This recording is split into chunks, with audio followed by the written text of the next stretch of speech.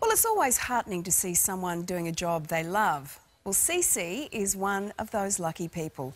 After a decade of hard work, she's now landed her dream job.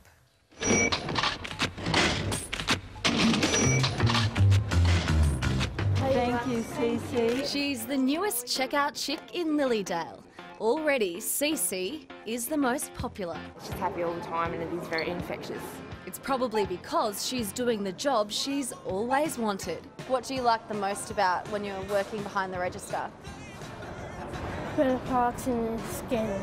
It's only been a few weeks since CC served her very first customer, but she is a Coles veteran, employed at this store for nine years.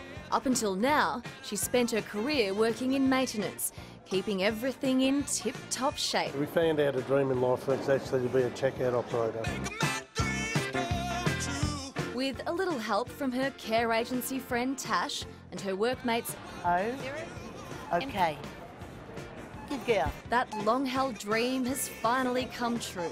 Michael and Kathy did some training with myself first, so I was confident, and then I just helped CC. Um, she started on the bags while I did the um, items, and then we just sort of progressed, and she just she was on fire. Is it hard work? Yeah, it's hard work.